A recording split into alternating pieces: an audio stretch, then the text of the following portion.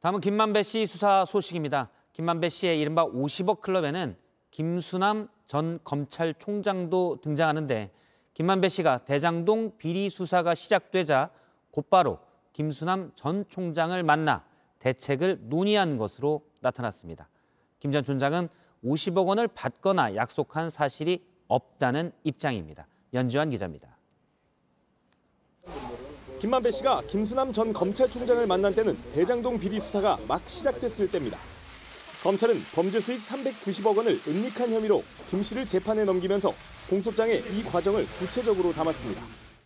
2021년 9월 김 씨가 서울 도곡동 카페에서 김 전 총장과 만나 대책을 논의했다며 김 전 총장이 같은 대형 로펌의 A 변호사를 소개했다고 적은 겁니다.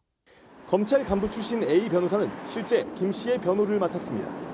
검찰은 구속된 김 씨가 A 변호사를 통해 측근들에게 지시를 내려 범죄 수익을 숨긴 것으로 봤습니다. 이사인 최 모 씨에게 추징 절차에 들어가기 전에 회사 돈 500억 원을 배당하는 방안을 A 변호사와 논의하도록 지시했다는 겁니다. 검찰은 지난해 12월 A 변호사 사무실을 압수수색할 당시 영장에도 김 씨가 김 전 총장으로부터 변호사를 소개받은 과정을 담았습니다. 김 전 총장은 이른바 50억 클럽에 등장합니다. 자, 50개가 몇 개냐? 서울대, 최재경, 박영수, 박상도, 김신아, 홍성근, 권순일. 그러면 이게 현재 얼마? 검찰은 김 전 총장이 김 씨와 대책을 논의한 것과 이후 범죄 수익 은닉이 50억 클럽과 관련이 있는지 확인하고 있습니다.